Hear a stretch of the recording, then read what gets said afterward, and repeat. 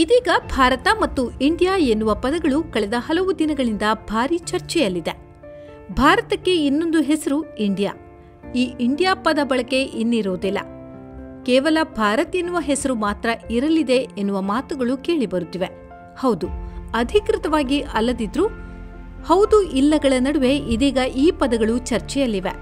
ಈ ಮಾತು ಎಷ್ಟರ ಮಟ್ಟಿಗೆ ಸತ್ಯ? ಇಂಡಿಯಾ ಅಥವಾ ಭಾರತ ಅನ್ನೋ ಹೆಸರು ಹೇಗೆ ಬಂತು? ಎಲ್ಲಿಂದ ಬಂತು? ಈ ಒಂದು ಚರ್ಚೆಗೆ ಕಾರಣವಾದ ವಿಷಯವಾದ್ರೂ ಏನು ಅನ್ನೋದ್ರ ಬಗ್ಗೆ ಸ್ವಲ್ಪ ಚಿತ್ತ ಹರಿಸೋಣ विष्णु पुराण में कहा गया है ये किसी भाजपा वाले ने नहीं लिखा है विष्णु पुराण में कहा गया है उत्तरम यत समुद्रस्य हिमाद्रश्चैव दक्षिणम वर्ष तद भारतम नाम भारती यत्र संतति ही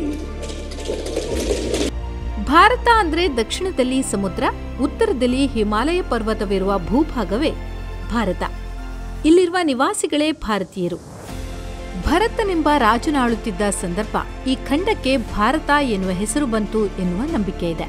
ಬಹಳಷ್ಟು ಹಿಂದಿನ ಅಂದ್ರೆ ಪುರಾಣದಲ್ಲೇ ಭಾರತಕ್ಕೆ ಭರತ ಕಂಡೆ ಜಂಬೂ ದ್ವೀಪ ಎನ್ನುವ ಹೆಸರುಗಳಿತ್ತು. ಆದರೆ ಹೆಸರು ಬದಲಾವಣೆ ಚರ್ಚೆಗೆ ಕಾರಣವೇನು? ಹೌದು, ಸೆಪ್ಟೆಂಬರ್ ಒಂಬತ್ತರಂದು ನಡೆದ ಜಿ ಟ್ವೆಂಟಿ ಶೃಂಗಸಭೆಗೆ ನೀಡಿರುವ ಆಹ್ವಾನ ಪತ್ರದಲ್ಲಿ ಕೇಂದ್ರದಿಂದ ರಾಷ್ಟ್ರಪತಿಯವರು ಪ್ರೆಸಿಡೆಂಟ್ ಆಫ್ ಇಂಡಿಯಾ ಅನ್ನೋ ಬದಲಾಗಿ ಪ್ರೆಸಿಡೆಂಟ್ ಆಫ್ ಭಾರತ್ ಎಂದು ಉಲ್ಲೇಖಿಸಿರುವುದೇ ಇಷ್ಟೆಲ್ಲಾ ಚರ್ಚೆಗೆ ಕಾರಣವಾಗಿದೆ. ಹಾಗಿದ್ರೆ ಇನ್ನು ನಡೆಯುವ ಸಂಸತ್ತಿನಲ್ಲಿ ಹೊಸ ಮಸೂದೆ, ಹೊಸ ನಿರ್ಣಯಗಳನ್ನ ಹೊರತರಲಿದೆಯೇ ಕೇಂದ್ರ ಸರ್ಕಾರ ಅನ್ನೋದನ್ನ ಕಾದು ನೋಡಬೇಕಿದೆ. ಇತ್ತೀಚೆಗೆ ಕಾಂಗ್ರೆಸ್ ನೇತೃತ್ವದ ಪಕ್ಷಗಳು ತಮ್ಮ ಮೈತ್ರಿಕೂಟಕ್ಕೆ ಇಂಡಿಯಾ ಎಂಬ ಹೆಸರಿಟ್ಟಿದ್ದವು. ಇದೇ ಸಮಯದಲ್ಲಿ ಪ್ರಧಾನಿ ಮೋದಿ ನೇತೃತ್ವದ ಸರ್ಕಾರವು ಈ ಇಂಡಿಯಾ ಎಂಬ ಪದವನ್ನೇ ಕಿತ್ತು ಹಾಕಲಿದೆ ಎನ್ನುವ ಚರ್ಚೆಗಳು ನಡೆಯುತ್ತಿವೆ. ಸಮುದ್ರಕ್ಕೆ ಉತ್ತರ ಹಿಮಾಲಯಕ್ಕೆ ದಕ್ಷಿಣ ಮೇ ದೇಶ उसे भारत कहते हैं तथा उनकी संतानों को भारती कहते हैं।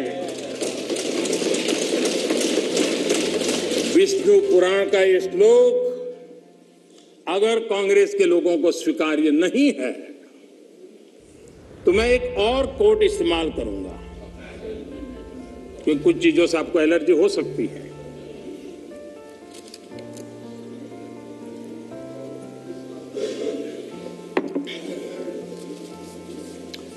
कोट कह रहा हूँ, एक क्षण आता है, मगर इतिहास में विरल ही आता है।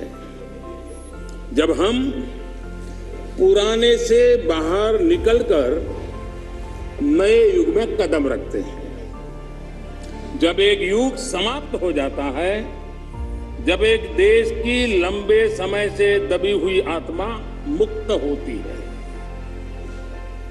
ये भी नेहरू जी के ही बोल है ಇಂಡಿಯಾ ಬದಲಿಗೆ ಭಾರತ್ ಎನ್ನುವ ಪದ ಬಳಕೆಗೆ ಭಾರಿ ಪರ ವಿರೋಧ ಹೇಳಿಕೆಗಳು ವ್ಯಕ್ತವಾಗುತ್ತಿವೆ ಇನ್ನು ಸೆಪ್ಟೆಂಬರ್ ಹದಿನೆಂಟರಿಂದ ಇಪ್ಪತ್ತೆರಡರವರೆಗೆ ಐದು ದಿನಗಳ ಕಾಲ ನಡೆಯುವ ಅಧಿವೇಶನದಲ್ಲಿ ಇಂಡಿಯಾ ಅನ್ನೋ ಹೆಸರು ಬದಲಾಗಿ ಕೇವಲ ಭಾರತ್ ಎನ್ನುವ ಹೆಸರು ಅಧಿಕೃತವಾಗಿ ಬದಲಾಗಲಿದೆ ಎನ್ನುವ ಹೇಳಿಕೆಗಳು ಅಲ್ಲಿ ಇಲ್ಲಿ ಕೇಳಿಸುತ್ತಿದೆ. ಇಂಡಿಯಾ ಎನ್ನುವ ಪದವು ಬ್ರಿಟಿಷರ ಗುಲಾಮಗಿರಿಯನ್ನ ಸೂಚಿಸುತ್ತದೆ. ಈ ಹಿನ್ನೆಲೆಯಲ್ಲಿ ಕೇಂದ್ರ ಸರ್ಕಾರ ಇಂಡಿಯಾದ ಬದಲಾಗಿ ಭಾರತ್ ಎಂದು ಹೆಸರಿಡಲು ಮುಂದಾಗಿದೆ ಎನ್ನಲಾಗುತ್ತಿದೆ. ಈ ಹಿಂದೆ ದೆಹಲಿ ಮೂಲದ ವಕೀಲರೋರ್ವರು ದೇಶಕ್ಕೆ ಬ್ರಿಟಿಷರು ನೀಡಿದ್ದ ಹೆಸರನ್ನ ತೆಗೆದುಹಾಕಿ ಕೇವಲ ಭಾರತ್ ಅಥವಾ ಹಿಂದೂಸ್ತಾನ್ ಎಂಬ ಹೆಸರನ್ನ ಮಾತ್ರ ಇರಿಸಬೇಕು ಎಂದು ಮನವಿ ಸಲ್ಲಿಸಿದರು. ಆದರೆ ಮನವಿಯನ್ನ ಸುಪ್ರೀಂ ಕೋರ್ಟ್ ತಳ್ಳಿ ಹಾಕಿತ್ತು. ಕೇಂದ್ರ ಕರೆದಿರುವ ವಿಶೇಷ ಅಧಿವೇಶನದಲ್ಲಿ ದೇಶದ ಹೆಸರಿನ ಭಾರತ ಎಂದು ಪ್ರಸ್ತಾಪಿಸುವ ಸಾಧ್ಯತೆಗಳಿವೆ ಅನ್ನೋ ಮಾತುಗಳು ಕೇಳಿಬರುತ್ತಿವೆ. ಹಾಗಾದ್ರೆ ಭಾರತ ಹಾಗೂ ಇಂಡಿಯಾ ಹೆಸರು ಬಂದಿದ್ದು ಹೇಗೆ? ವಿಷ್ಣು ಪುರಾಣದಲ್ಲಿ ಭಾರತ ಅನ್ನೋ ಹೆಸರಿನ ಉಲ್ಲೇಖವಿದೆ. ಇದರ ಜೊತೆಗೆ ಭರತವರ್ಷ, ಭರತಖಂಡ, ಹಿಂದೂಸ್ತಾನ ಅನ್ನೋ ಹೆಸರುಗಳು ಭಾರತಕ್ಕಿದೆ. ಇಂಡಿಯಾ ಹೆಸರಿನ ಬದಲು ಇನ್ನು ಮುಂದೆ ಭಾರತ ಅನ್ನೋ ಹೆಸರು ಅಧಿಕೃತವಾಗಲಿದೆ ಅನ್ನೋ ಚರ್ಚೆ ಜೋರಾಗಿದೆ. ಆರ್ಟಿಕಲ್ ಒಂದರಲ್ಲಿ ಇಂಡಿಯಾ ಅಂದ್ರೆ ಭಾರತ ಅಂತಿದೆ. ಅದನ್ನು ಬದಲಾಯಿಸಲು ಸಾಧ್ಯವಿದೆಯೇ ಅನ್ನೋ ಪ್ರಶ್ನೆಗಳು ಕೇಳಿಬರುತ್ತಿವೆ.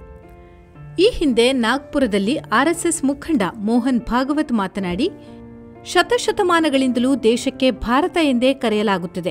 ಹಾಗಾಗಿ ಇಂಡಿಯಾ ಎಂದು ಬಳಸೋದನ್ನ ಬಿಟ್ಟು ಬಿಡಬೇಕು ಮತ್ತು ಭಾರತ ಎಂಬ ಪದವನ್ನೇ ಬಳಸಬೇಕು ಎಂದು ಹೇಳಿದ್ದಾರೆ तो भाषा के प्रवाह में ही इंडिया आ जाता है क्योंकि उनको समझना चाहिए कोई जरूरत नहीं है जो विशेष नाम होते हैं उसका भाषांतर नहीं किया जाता दुनिया में कहीं नहीं करते तो हम बोलने में लिखने में सर्वत्र भारत कहे किसी को समझने में नहीं आया चिंता न करे उसको जरूरत है तो वो समझ लेगा हमको जरूरत नहीं है सबको समझाने की हम अपने आप में समर्थ है स्वतंत्र है आज दुनिया को हमारी जरूरत है बिना दुनिया हम चल सकते हैं दुनिया हमारे बिना नहीं चल सकती ಒಟ್ನಲ್ಲಿ ಶತಶತಮಾನಗಳಿಂದ ಭರತಖಂಡ ಭಾರತವೇ ಆಗಿದ್ದುದು ಸತ್ಯವಾಗಿದೆ